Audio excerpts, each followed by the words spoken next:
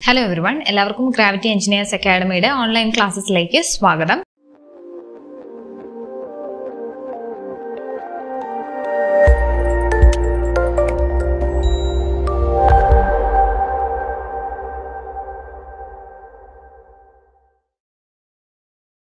എല്ലാവർക്കും നമ്മുടെ ഈ വീഡിയോ സെഷൻസ് എല്ലാം ഇഷ്ടമായി എന്ന് അറിഞ്ഞതിൽ വളരെയധികം സന്തോഷം. നിങ്ങളുടെ ഫ്രണ്ട്സിനും കൂടി അതായത് നമ്മുടെ ജനുവരി എട്ടിന്റെ എക്സാമിന് വേണ്ടി പ്രിപ്പയർ ചെയ്യുന്ന നിങ്ങളുടെ ഫ്രണ്ട്സിനും കൂടി അഥവാ അവർ അറിഞ്ഞിട്ടില്ല എന്നുണ്ടെങ്കിൽ ഈ ചാനൽ ഒന്ന് സജസ്റ്റ് ചെയ്യുക. കാരണം എന്തായാലും ഫ്രീ ആയിട്ടാണ് അവരും കൂടി പഠിച്ച് എന്ത് ചെയ്യട്ടെ? അവർ എക്സാം നന്നായിട്ട് പ്രിപ്പയർ ചെയ്ത് കഴിഞ്ഞാൽ നന്നായിട്ട് എല്ലാവർക്കും സ്കോർ ചെയ്യാൻ പറ്റുന്ന ഒരു കാര്യമാണ്. കാരണം സിലബസ് എല്ലാം വളരെ കുറവായതുകൊണ്ട് തന്നെ. പിന്നെ ഇതുവരെയുള്ള സെഷൻസ് എല്ലാം നിങ്ങൾ കൃത്യമായിട്ട് കണ്ടു എന്ന് തന്നെ ഞാൻ വിശ്വസിക്കുന്നു. ആ ഒരു ഓർഡറിൽ തന്നെ പഠിച്ചു പോവുക. ഒപ്പം നമ്മുടെ പി ഡി എഫ് നോട്ട്സ് വായിക്കുക. പ്ലസ് ക്വസ്റ്റ്യൻ കൂടി അറ്റൻഡ് ചെയ്യുക. പി എസ് സിയുടെ പ്രത്യേകത നിങ്ങൾക്ക് അറിയായിരിക്കുമല്ലോ. എന്താണ്? നമ്മൾ എത്രത്തോളം വർക്കൗട്ട് ചെയ്യുന്നു അത്രത്തോളം നമുക്ക് എന്ത് ചെയ്യാൻ പറ്റും? പെട്ടെന്ന് തന്നെ ആ ഒരു ടൈം മാനേജ്മെന്റും കൂടി നമ്മൾ എന്ത് ചെയ്യും? പഠിച്ചു തന്നെ വരും. സോ അതെല്ലാം കൃത്യമായിട്ട് ചെയ്തു പോവുക. ഇന്ന് നമ്മൾ എത്തിയിരിക്കുന്നത് ബിൽഡിംഗ് മെറ്റീരിയൽസിന്റെ പുതിയൊരു സെഷനുമായിട്ടാണ് സ്റ്റോൺസ് നമ്മൾ ഇന്ന് പഠിക്കുന്നത് ബിൽഡിംഗ് മെറ്റീരിയൽ ആയിട്ടുള്ള സ്റ്റോണിനെ പറ്റിയിട്ടാണ്. ഓക്കെ അപ്പൊ നമുക്ക് സെഷൻ സ്റ്റാർട്ട് ചെയ്യാം. ആദ്യമായിട്ട് നമ്മൾ പഠിക്കുന്നതാണ് ജിയോളജിക്കൽ ക്ലാസിഫിക്കേഷൻ ഓഫ് സ്റ്റോൺസ് ഇതിൽ നമുക്ക് പ്രധാനമായിട്ട് പഠിക്കാനുള്ളതും ക്ലാസിഫിക്കേഷൻസ് ഓഫ് സ്റ്റോൺ തന്നെയാണ്. എന്താണ് ജിയോളജിക്കൽ ക്ലാസിഫിക്കേഷൻ എന്ന് പറഞ്ഞു കഴിഞ്ഞാൽ ഇവിടെ നമ്മൾ ക്ലാസിഫൈ ചെയ്യുന്നത് based on the formation of rock ഒരു റോക്ക് എങ്ങനെയാണ് ഫോം ചെയ്ത് വരുന്നത്? അതിന്റെ ഫോർമേഷനെ ബേസ് ചെയ്തിട്ടാണ് നമ്മുടെ ജിയോളജിക്കൽ ക്ലാസിഫിക്കേഷൻ വരുന്നത്. ഇൻ ജിയോളജിക്കൽ ക്ലാസിഫിക്കേഷൻ നമുക്ക് മൂന്നായിട്ടാണ് നമ്മുടെ റോക്സിനെ നമ്മൾ തിരിക്കുന്നത്. One is igneous rock second is sedimentary rock and third is metamorphic rock നിങ്ങൾ ഈ ഒരു ഫ്ലോ ചാർട്ട് ഇതുപോലെ അങ്ങ് പഠിച്ചു വെച്ചിരുന്നാൽ മതി. ഇതൊന്ന് പഠിച്ചു കഴിഞ്ഞാൽ പിന്നെ നിങ്ങൾക്ക് കൺഫ്യൂഷൻ വരത്തില്ല സ്റ്റോൺസ് എന്ന് ഓക്കെ ഇപ്പൊ ഈ ഒരു ഓർഡറിൽ തന്നെ പഠിച്ചു പോവുക ജിയോളജിക്കൽ ക്ലാസിഫിക്കേഷനിൽ നമ്മൾ മൂന്നായിട്ട് തിരിക്കുന്നു. ഇഗ്നിയസ് സെഡിമെന്ററി ആൻഡ് മെറ്റമോഫിക് ആദ്യം നമുക്ക് ഇഗ്നിയസ് റോക്ക് എന്താന്ന് നോക്കാം. എന്താണ് igneous rock the rocks formed by the cooling of magma magma എന്താന്നൊക്കെ നമുക്ക് എല്ലാവർക്കും അറിയാല്ലേ എർത്തിന്റെ സെൻട്രിൽ നിന്ന് ആ ഒരു എന്താ പറയുന്നത് മോൾട്ടൺ സ്റ്റേറ്റിൽ കിടക്കുന്നതാണ് എന്ത്? മാഗ്മ എന്ന് പറയുന്നത്. അത് എർത്തിന്റെ സർഫസിൽ വന്നിട്ടോ അല്ലെങ്കിൽ എർത്തിനുള്ളിൽ തന്നെ വെച്ചിട്ടോ കൂൾ ചെയ്ത് ഉണ്ടാകുന്നതാണ് എന്ത്? ഇഗ്നിയസ് റോക്സ് എന്ന് പറയുന്നത്. ഈ ഒരു പോയിന്റ് മറന്നു പോകരുത്. ഓക്കെ അപ്പോൾ ഇഗ്നിയസ് റോക്ക് എന്താന്ന് നമുക്ക് മനസ്സിലായല്ലേ ഇനി ഇഗ്നിയസ് റോക്കിനെ ഞാൻ ഫെർദർ ആയിട്ട് മൂന്നായിട്ട് സബ് ഡിവൈഡ് ചെയ്യുന്നു. പ്ലൂട്ടോണിക് റോക്ക് എന്നും ഹൈപ്പർ ബേസൽ എന്നും വോൾക്കാനിക് എന്നും. എന്താണ് പ്ലൂട്ടോണിക് റോക്സ് ഞാൻ എന്റെ എർത്ത് സർഫസ് കൺസിഡർ ചെയ്യുന്നു. എർത്ത് സർഫസിൽ നിന്നും. ഇവിടാണ് എന്റെ മാഗ്മ കിടക്കുന്നത്. എർത്തിന്റെ സർഫസിൽ നിന്നും അറ്റ് ഡീപ്പർ ഡെപ്തിലാണ് എന്റെ റോക്ക് ഫോം ചെയ്യുന്നതെങ്കിൽ then that is called plutonic rock okay എർത്തിന്റെ സർഫസിൽ നിന്ന് കുറച്ച് ആഴത്തിലാണ് എന്ത് ചെയ്യുന്നത്? ഈ ഒരു പെർട്ടിക്കുലർ റോക്ക് ഫോം ചെയ്യുന്നതെങ്കിൽ it is known as plutonic rock ഇതെല്ലാം ഇഗ്നിയസിൽ വരുന്നതാണ്. സോ ആര് തണുത്തിട്ടാണ് ഇത് ഉണ്ടായേക്കുന്നത്? മാഗ്മ തണുത്തിട്ടാണ് ഇത് ഫോം ചെയ്തിരിക്കുന്നത്.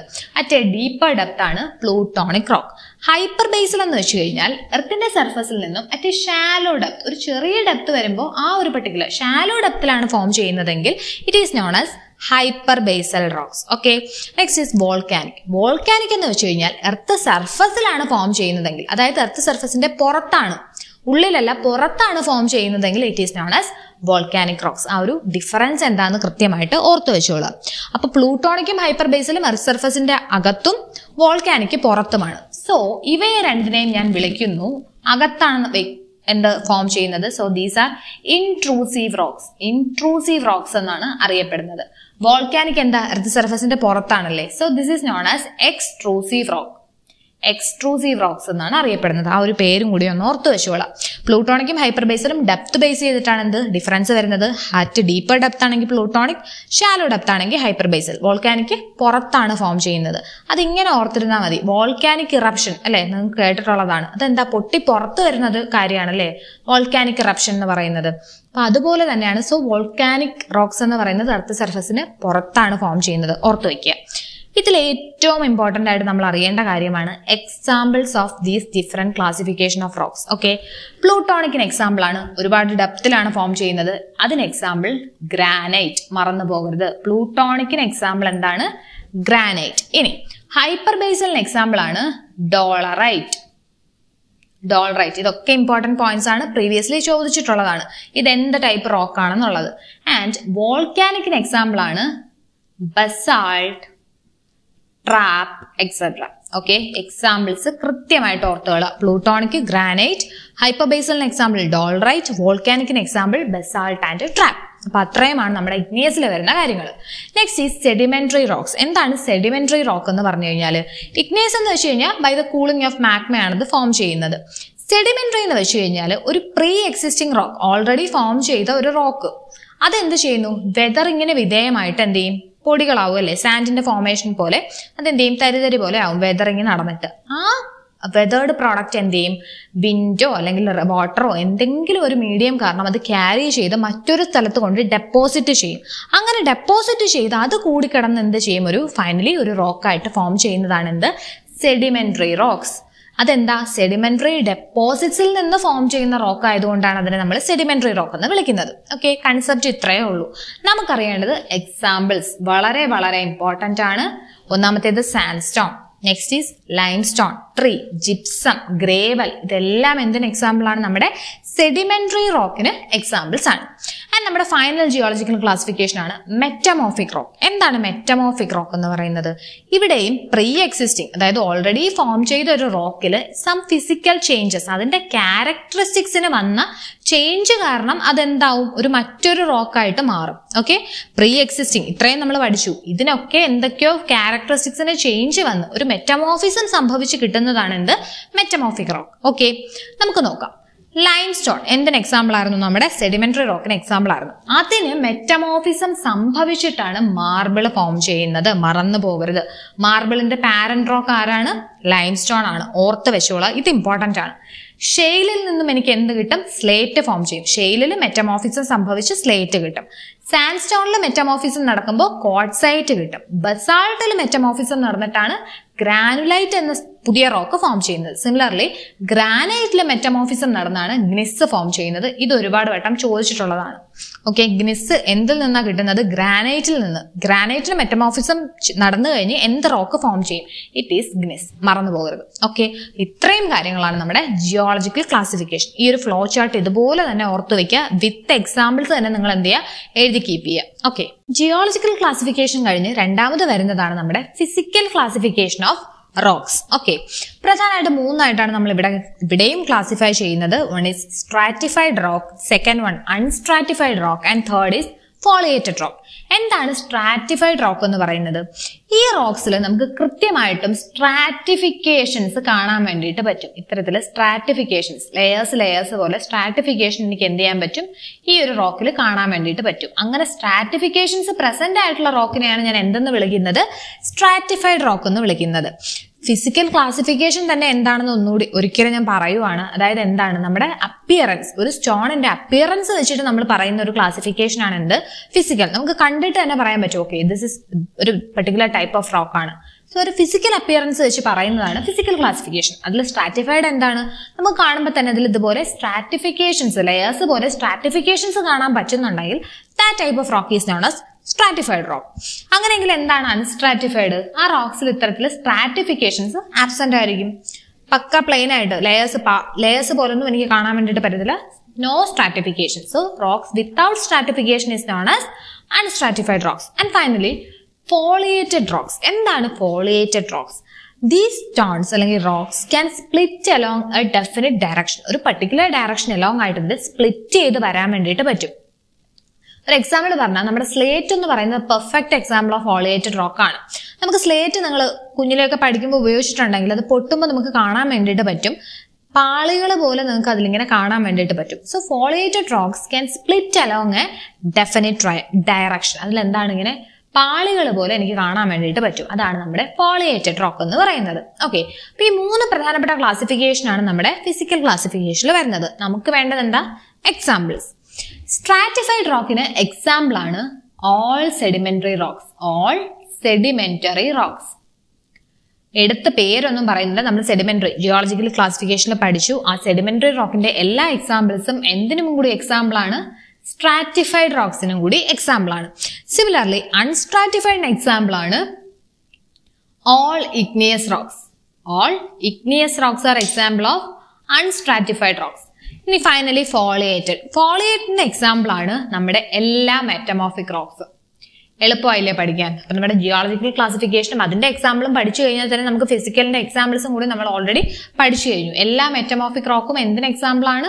ഫോളിയേറ്റഡിന് എക്സാമ്പിൾ ആണ്. ഓക്കെ അപ്പൊ ഇത്രയുമാണ് നമ്മുടെ ഫിസിക്കൽ ക്ലാസിഫിക്കേഷൻ നമ്മുടെ ലാസ്റ്റ് ക്ലാസിഫിക്കേഷൻ ആണ് കെമിക്കൽ ക്ലാസിഫിക്കേഷൻ ഇവിടെ നമ്മുടെ റോക്കിന്റെ കെമിക്കൽ കോമ്പോസിഷനെ ബേസ് ചെയ്തിട്ടാണ് നമ്മൾ ഈ ഒരു ക്ലാസിഫിക്കേഷൻ ചെയ്തിരിക്കുന്നത്. ഇവിടെ നമ്മൾ മൂന്ന് ഹെഡിങ്സിലാണ് നമ്മുടെ റോക്സിനെ ക്ലാസിഫൈ ചെയ്യുന്നത്. One is siliceous rock second one is argillaceous rock and finally calcareous rock നമുക്ക് ഡീറ്റെയിൽ ആയിട്ട് നോക്കാം. First one is siliceous rock എന്തുകൊണ്ടാണ് അതിനെ സിലീഷ്യസ് റോക്ക് എന്ന് നമ്മൾ വിളിക്കുന്നത്? കാരണം ഇവിടെ പ്രിഡോമിനന്റ് കോൺസ്റ്റിറ്റുവന്റ് ആ പർട്ടിക്കുലർ റോക്കിലെ പ്രിഡോമിനന്റ് കോൺസ്റ്റിറ്റുവന്റ് എന്ന് പറയുന്നത് ആരാണ്? സിലിക്കയാണ് silica is the predominant constituent in siliceous rock അതുകൊണ്ട് അതിനെ നമ്മൾ സിലേഷ്യസ് റോക്ക് എന്ന് വിളിക്കുന്നത്. അങ്ങനെയെങ്കിൽ എന്താണ് ആർജിലേഷ്യസ് റോക്ക് അവിടെ എന്തായിരിക്കും പ്രിഡോമിനന്റ് കമ്പോണന്റ് ആർജിൽ ആർജിലാണ് അവിടുത്തെ പ്രിഡോമിനന്റ് കമ്പോണന്റ് എന്താണ് ആർജിൽ ആർജിൽ എന്ന് വെച്ച് കഴിഞ്ഞാൽ എന്താണ്? ക്ലേ അപ്പോൾ ക്ലേ പ്രിഡോമിനന്റ് കമ്പോണന്റ് ആയിട്ട് വരുന്ന റോക്കിനെയാണ് നമ്മൾ എന്തെന്ന് വിളിക്കുന്നത്? ആർജിലേഷ്യസ് റോക്ക് എന്ന് വിളിക്കുന്നത്. ഫൈനലി കാൽക്കേരിയസ് റോക്ക് ഇവിടെ എന്താണ് പ്രിഡോമിനന്റ് കമ്പോണന്റ് ഇവിടെ പ്രിഡോമിനന്റ് എന്ന് വെച്ചാൽ ഏറ്റവും കൂടുതൽ അളവിൽ ആ ഒരു പെർട്ടിക്കുലർ റോക്കിൽ കാണുന്ന കോൺസ്റ്റിറ്റുവന്റ് കാൽക്കേരിയസ് റോക്കിൽ ഏറ്റവും കൂടുതൽ കാണുന്നത് കാൽഷ്യം കാർബണേറ്റ് ആയിരിക്കും. Okay C A C O three calcium carbonate predominant component ആയിട്ട് വരുന്ന റോക്സിനെയാണ് നമ്മൾ എന്തെന്ന് വിളിക്കുന്നത്? കാൽക്കേരിയസ് എന്ന് വിളിക്കുന്നത്. നമുക്ക് വേണ്ടത് എന്താണ്? എക്സാമ്പിൾസ് സിലീഷ്യസ് റോക്കിന് എക്സാമ്പിൾ ആണ് നമ്മുടെ ഗ്രാനൈറ്റ് ക്വാഡ്സൈറ്റ് ഇതല്ല. ക്വാഡ്സൈറ്റ് ഗ്രാനൈറ്റ് ഇതൊക്കെ എന്തിന് എക്സാമ്പിൾ ആണ്? സിലീഷ്യസിന് എക്സാമ്പിൾ ആണ്. ഇതൊക്കെ ക്വസ്റ്റ്യൻ ചോദിച്ചിട്ടുള്ളതാണ്. എക്സാമ്പിൾസ് ഒരു കാരണവശാലും നിങ്ങൾ വിട്ടിട്ട് പഠിക്കരുത്. റോക്സിൽ വളരെ ഇമ്പോർട്ടന്റ് അതിന്റെ എക്സാമ്പിൾസ് ആണ്. ഓരോ ക്ലാസിഫിക്കേഷന്റെയും എക്സാമ്പിൾ കൃത്യമായി പഠിക്കുക. അടുത്തത് ആർജിലേഷ്യസ് ആർജിലേഷ്യസിന് എക്സാമ്പിൾ ആണ്. Slate laterite etcetera laterite slate അതൊക്കെ എന്തിന് എക്സാമ്പിൾ ആണ്? ആർജിലേഷ്യസിന് എക്സാമ്പിൾ ആണ്. ഇതിപ്പോ ഞാൻ തൽക്കാലം തരുന്ന എക്സാമ്പിൾസ് ആണ്. മാക്സിമം ഡിഫറെന്റ് ക്ലാസിഫിക്കേഷനിൽ വരുന്ന എക്സാമ്പിൾസ് നിങ്ങൾ കളക്ട് ചെയ്യാൻ ശ്രമിക്കുക. അത് കൃത്യമായിട്ട് പഠിച്ചു വെക്കുക. ഇനി കാൽഷ്യം കാർബണേറ്റ് ഏറ്റവും കൂടുതൽ വരുന്നത്. ഇത് ഒരുവിധം എല്ലാവർക്കും അറിയുന്നതായിരിക്കും. ലൈംസ്റ്റോൺ മാർബിൾ ഇതൊക്കെ ഒത്തിരി വട്ടം ചോദിച്ചിട്ടുള്ള ക്വസ്റ്റ്യൻ ആണ്. കാൽക്കേരിയസിൽ എക്സാമ്പിൾ ഏതാന്നുള്ളത്? ഓപ്ഷനിൽ ഒന്നുകിൽ മാർബിൾ അല്ലെങ്കിൽ ലൈം സ്റ്റോൺ ഒക്കെ ഉറപ്പായിട്ടും കാണും. അപ്പൊ ഇത്രയുമാണ് നമ്മുടെ classification of stones start your civil engineering competitive exam preparation with Gravity Engineers Academy uh offline classes will be starting soon Gravity Engineers Academy reinforce your career അടുത്തതായി നമ്മൾ നോക്കുന്നതാണ് ടെസ്റ്റ് ഓൺ സ്റ്റോൺസ് നമ്മുടെ സ്റ്റോൺസിൽ ചെയ്യുന്ന ടെസ്റ്റുകളെ പറ്റിയും കൂടി നമുക്കൊന്ന് നോക്കിയിട്ട് വരാം. First one is acid test എന്തിനാണ് ഈ ടെസ്റ്റ് ചെയ്യുന്നത്? It is use to determine the presence of calcium carbonate മറക്കരുത്. ആസിഡ് ടെസ്റ്റ് ചെയ്യുന്നത് കാൽഷ്യം കാർബണേറ്റിന്റെ പ്രസൻസ് ഉണ്ടോ ഇല്ലയോ എന്ന് അറിയാൻ വേണ്ടിയിട്ടാണ് നമ്മൾ ഈ ഒരു ടെസ്റ്റ് ചെയ്യുന്നത്. ഇവിടെ നമ്മൾ ഏത് ആസിഡാണ് യൂസ് ചെയ്യുന്നത്? ഹൈഡ്രോക്ലോറിക് ആസിഡ് വെച്ചിട്ടാണ് നമ്മൾ ഈ ഒരു പർട്ടിക്കുലർ ടെസ്റ്റ് ചെയ്യുന്നത്. And this acid test is done on sandstone സാൻഡ്സ്റ്റോണിലാണ് നമ്മൾ ഈ ഒരു ടെസ്റ്റ് നടത്താറുള്ളത്. എന്തിനു വേണ്ടിയിട്ട്? To find out the presence of calcium carbonate ഇത്രയും കാര്യം ഓർത്തു വെച്ചോളാം. അടുത്തതാണ് അട്രീഷൻ ടെസ്റ്റ് നിങ്ങൾ ഒരുപാട് വട്ടം കേട്ടിട്ടുള്ളതായിരിക്കും. എന്തിനാണ് നമ്മൾ അട്രീഷൻ ടെസ്റ്റ് ചെയ്യുന്നത്? To find out the percentage wear and tear in stones അതായത് നമ്മുടെ സ്റ്റോൺസിൽ വരുന്ന തേയ്മാനം. അല്ലെ? വിയർ ആൻഡ് ടിയർ കണ്ടുപിടിക്കാൻ വേണ്ടിയിട്ടാണ് നമ്മൾ എന്ത് ചെയ്യുന്നത്? അട്രീഷൻ ടെസ്റ്റ് ചെയ്യുന്നത്. Wear and tear of stones അതിന് വേണ്ടിയിട്ട് അട്രീഷൻ ടെസ്റ്റ് ചെയ്യുന്നത്. ഇനി അട്രേഷൻ ടെസ്റ്റ് നമ്മൾ ഏത് മെഷീനിലാണ് ചെയ്യുന്നത്? It is done in Deval's attrition testing machine Deval's attrition testing മെഷീനിലാണ് നമ്മൾ ഈ ഒരു പെർട്ടിക്കുലർ ടെസ്റ്റ് ചെയ്യുന്നത്. ഓക്കെ ഇങ്ങനത്തെ കുഞ്ഞു കുഞ്ഞു പോയിന്റ്സ് മാത്രം നിങ്ങളൊന്ന് അറിഞ്ഞു വെച്ചിരുന്നാൽ മതി. എന്തിനാണ് ചെയ്യുന്നത്? To find out of wear and tear എവിടെയാണ് ചെയ്യുന്നത്? ഡെബിൾസ് അട്രീഷൻ ടെസ്റ്റിംഗ് മെഷീനിലാണ് ചെയ്യുന്നത്. അടുത്ത ഇമ്പോർട്ടന്റ് ആയിട്ടുള്ള ടെസ്റ്റ് ആണ് ഹാർഡ്നെസ് ടെസ്റ്റ് ഹാർഡ്നെസ് ടെസ്റ്റ് നമ്മൾ എന്തിനാ ചെയ്യുന്നത്? To determine the hardness of stone നമ്മുടെ സ്റ്റോണിന്റെ ഹാർഡ്നെസ് എത്രയെന്ന് അറിയാൻ വേണ്ടിയിട്ടാണ് നമ്മൾ ഹാർഡ്നെസ് ടെസ്റ്റ് ചെയ്യുന്നത്. It is done in Dorry's testing machine Dorry's testing മെഷീനിലാണ് നമ്മൾ ഈ ഒരു പർട്ടിക്കുലർ ടെസ്റ്റ് ചെയ്യുന്നത്. ഓക്കെ ഇനി വളരെ ഇമ്പോർട്ടന്റ് ആയിട്ടുള്ള ഒരു പോയിന്റ് ഹാർഡ്നെസ്സിൽ വരുന്നതാണ്. നമ്മുടെ ഹാർഡ്നെസ് നമ്മൾ മോ സ്കെയിലാണ് കാണിക്കുന്നത്. എന്ത് സ്കെയിലാണ് മോ സ്കെയിൽ മോ സ്കെയിൽ ഫോർ ഹാർഡ്നെസ് ഇത് ഒരു കാരണവശാലും മറന്നു പോകരുത് ഹാർഡ്നെസ് നമ്മൾ കാണിക്കുന്ന സ്കെയിലാണ് എന്ത്? മോ സ്കെയിൽ എന്ന് പറയുന്നത്. അതിനുള്ളിൽ വാല്യൂസ് ഒന്ന് മുതൽ പത്ത് വരെയാണ് വേരി ചെയ്യുന്നത്. ഓക്കെ ഒന്ന് മുതൽ പത്ത് വരെ. ആ മോ സ്കെയിലിൽ നമ്മൾ പത്ത് പത്ത് വരെയുള്ള നമ്മുടെ ഹാർഡ്നെസ് ഉള്ള സ്റ്റോൺസിനെ റെപ്രസെന്റ് ചെയ്തിട്ടുണ്ട്. ഇത് വളരെ ഇമ്പോർട്ടന്റ് ആയിട്ടുള്ള ഒരു ടോപ്പിക്കാണ് നിങ്ങൾ ആ വാല്യൂസ് മാക്സിമം ഓരോ സ്റ്റോണിനും കറസ്പോണ്ടിങ് ഹാർഡ്നെസ് വാല്യൂ എത്രയാണെന്നുള്ളത് ഒന്ന് പഠിച്ചു വെക്കാൻ ശ്രമിക്കുക. പത്ത് മുതൽ ഒന്ന് മുതൽ പത്ത് വരെയാണ്. അത് ഏറ്റവും കൂടുതൽ ഹാർഡസ്റ്റ് ആയിട്ടുള്ളതായിരിക്കും പത്താമത്തേത്. ഏറ്റവും കുറവ് ഹാർഡ്നെസ് ഉള്ളതായിരിക്കും ഒന്നാമത്തെ നമ്പറിൽ വരിക. ഓക്കെ ഏറ്റവും കൂടുതൽ ഹാർഡസ്റ്റ് ആയിട്ടുള്ള നമ്മുടെ സ്റ്റോൺ ആണ് ഡയമണ്ട് സോ അതിന്റെ മോസ്കെയിൽ വാല്യൂ എത്രയാണ്? Ten okay. ഡയമണ്ട് ആണ് ഏറ്റവും ഹാർഡസ്റ്റ് ആയിട്ടുള്ള സ്റ്റോൺ ഇതൊരു ക്വസ്റ്റ്യൻ ആണ്. മറന്നു പോകരുത്. ഇമ്പോർട്ടന്റ് ആണ്. ഓക്കെ. നെക്സ്റ്റ് നയൻ വരുന്നത് കൊറണ്ടം കൊറണ്ടം എന്ന റോക്കിനാണ് എന്ത്? നയൻ എന്ന വാല്യൂ വരുന്നത്. Next topaz eight topaz ക്വാഡ്സിന് seven orthoclase six fluorite five apatite four calcite three gypsum two and finally one എന്ന വാല്യൂ വരുന്നത് ടാൽക്കിനാണ് അപ്പൊ അതൊക്കെ വളരെ ഇമ്പോർട്ടന്റ് ആണ്. ടാൽക്കിന്റെ hardness value one Mohs scale value one ഡയമണ്ടിന്റേതാണ് ഏറ്റവും ഹയസ്റ്റ് ടെൻ സിമിലർലി ഇമ്പോർട്ടന്റ് ആയിട്ട് വരുന്നതാണ് ജിപ്സം ഒക്കെ. ഇത് മാക്സിമം ഫുള്ള് പഠിക്കുക നമുക്ക് എവിടെ നിന്ന് ക്വസ്റ്റ്യൻ വരുന്നൊന്നും പറയാൻ പറ്റത്തില്ല. ഏറ്റവും ഹാർഡ്നെസ് കുറഞ്ഞതാണ് ടാൽക്ക് അതിന്റെ വാല്യൂ വൺ ആണ്. ദെൻ ഹയസ്റ്റ് ഏതാണ്? ഡയമണ്ട് ആണ്. ടെൻ ആണ് വാല്യൂ അതൊക്കെ മാക്സിമം എന്ത് ചെയ്യുക ഒന്ന് പഠിച്ചു വെച്ചോളാൻ ശ്രമിക്കുക. ഓക്കെ അപ്പൊ ഇത്രയും കാര്യങ്ങൾ നമ്മൾ എന്തിൽ പഠിച്ചു? ഇത്രയും. ഈ ഒരു മൂന്ന് ടെസ്റ്റ് ആണ് നമ്മൾ ആദ്യം ഇതിൽ പഠിക്കുന്നത്. എന്തിൽ സ്റ്റോണിൽ പഠിക്കുന്നത്. അടുത്ത നമ്മുടെ ടെസ്റ്റ് ആണ് ഇമ്പാക്ട് ടെസ്റ്റ് ഇത് എന്തിനാണ് ചെയ്യുന്നത്? Impact test is done to find out the toughness of stone നമ്മുടെ ഒരു സ്റ്റോണിന്റെ ടഫ്നെസ് എത്രയാണെന്ന് അറിയാൻ വേണ്ടിയിട്ടാണ് നമ്മൾ എന്ത് ചെയ്യുന്നത്? ഇമ്പാക്ട് ടെസ്റ്റ് ചെയ്യുന്നത്. അപ്പൊ അവിടെ എന്താണ് കണ്ടുപിടിക്കുന്നത്? ടഫ്നെസ് ഓഫ് സ്റ്റോൺ ആണ് നമ്മൾ ഇമ്പാക്ട് ടെസ്റ്റ് വഴി കണ്ടുപിടിക്കുന്നത്. അതാണ് അവിടുത്തെ ഇമ്പോർട്ടന്റ് പോയിന്റ് എന്ന് പറയുന്നത്. Okay to find out the toughness of stone we do impact test next is Smith's test ഇത് ഒരുപാട് വട്ടം ചോദിച്ചിട്ടുള്ള ഒരു ക്വസ്റ്റ്യൻ ആണ്. സ്മിത്സ് ടെസ്റ്റ് എന്തിനു വേണ്ടിയിട്ടാണ് ചെയ്യുന്നത്? To find out the presence of soluble matter in stone to find out the presence of soluble matter in stone സ്റ്റോൺസിൽ present ആയിട്ടുള്ള സോലുബിൾ മാറ്ററിനെ കണ്ടുപിടിക്കാൻ വേണ്ടിയിട്ട് അതിന്റെ ആ ഒരു പ്രസൻസ് കണ്ടുപിടിക്കാൻ വേണ്ടിയിട്ടാണ് നമ്മൾ എന്ത് ചെയ്യുന്നത്? സ്മിത്ത് ടെസ്റ്റ് ചെയ്യുന്നത്. ഇത് ചോദിച്ചിട്ടുള്ള ഒരു ക്വസ്റ്റ്യൻ ആണ്. Okay presence of soluble matter in stones next is water absorption test ഇത് നമ്മുടെ ബ്രിക്കിലൊക്കെ പഠിച്ചിട്ടുള്ളതാണ് അല്ലേ? വാട്ടർ അബ്സോർപ്ഷൻ ടെസ്റ്റ് അവിടുത്തെ പെർസെന്റേജ് വാട്ടർ അബ്സോർപ്ഷൻ എത്രയെന്നാണ് നമ്മളിവിടെ കണ്ടുപിടിക്കുന്നത്. നമുക്കറിയേണ്ട അതിന്റെ വാല്യൂ എത്രയാണെന്നാണ്. സ്റ്റോണിന് water absorption value percentage water absorption എത്ര വരെയാകാം? It should be less than it should not be greater than അല്ലെങ്കിൽ it should be less than what five percentage അത് എപ്പോഴും ഫൈവ് പെർസെന്റേജിനെക്കാട്ടിലും കുറവായിരിക്കണം. അല്ലെങ്കിൽ എനിക്ക് എങ്ങനെ പറയാം? It should not be greater than five percentage അഞ്ച് പെർസെന്റേജിൽ കുറവായിരിക്കണം. അതാണ് നമ്മുടെ കണ്ടീഷൻ എന്ന് പറയുന്നത്. ഇറ്റ് ഷുഡ് നോട്ട് ബി ഒരു കാരണവശാലും എന്ത്? അഞ്ച് പെർസെന്റേജ് കൂടാൻ പാടില്ല. സോ കണ്ടീഷൻ എന്താണ്? It should not be greater than five percentage percentage water absorption ഇനി if the percentage water absorption is greater than ten percentage ഒരു സ്റ്റോൺ ഞാൻ എടുത്തപ്പോൾ അതിലെ പെർസെന്റേജ് വാട്ടർ അബ്സോർപ്ഷൻ എന്ന് പറയുന്നത് ടെൻ പെർസെന്റേജ് കൂടുതലെന്ന് കണ്ടു കഴിഞ്ഞാൽ നമ്മളത് കൺസ്ട്രക്ഷന് പോലും യൂസ് ചെയ്യത്തില്ല. ഓക്കെ ഒരു മിനിമം വാല്യൂ എന്ന് പറയുന്നത് എത്രയാണ്? Should not be greater than five percentage water absorption ഒരു കാരണവശാലും ഫൈവിൽ കൂടാൻ പാടില്ല. പക്ഷേ ഇനി ഒരു കാരണവശാൽ കൂടിയാലും ടെന്നിനപ്പുറം ആയി കഴിഞ്ഞാൽ നമ്മൾ ആ ഒരു പെർട്ടിക്കുലർ സ്റ്റോൺ കൺസ്ട്രക്ഷൻ ഒന്നും യൂസ് ചെയ്യത്തില്ല. ആ ഒരു പോയിന്റ് ഒന്ന് ഓർത്ത് വെച്ചോളാം. Finally crushing test crushing test നമ്മൾ ചെയ്യുന്നത് കംപ്രഷൻ ടെസ്റ്റിംഗ് മെഷീനിൽ തന്നെയാണ്. നമ്മൾ എന്ത് ചെയ്യും? ഫോർട്ടി എം എം സൈസ് ഉള്ള ക്യൂബ്സ് ആയിട്ട് നമ്മുടെ സ്റ്റോണിനെ എന്ത് ചെയ്യും? കട്ട് ചെയ്തെടുക്കും. ഫോർട്ടി എം എം സൈസ് ഉള്ള ക്യൂബ്സ് ക്യൂബായിട്ട് ഞാൻ എന്ത് ചെയ്യും? എന്റെ സ്റ്റോൺസിനെ കട്ട് ചെയ്തെടുക്കും. അതാണ് ഞാൻ ക്രഷിംഗ് കംപ്രഷൻ ടെസ്റ്റിംഗ് മെഷീനിലേക്ക് വെച്ചിട്ട് ടെസ്റ്റ് ചെയ്യുന്നത്. അങ്ങനെ ചെയ്യുമ്പോൾ എനിക്ക് കിട്ടേണ്ട വാല്യൂ എത്രയാണ്? The minimum crushing strength value minimum crushing strength value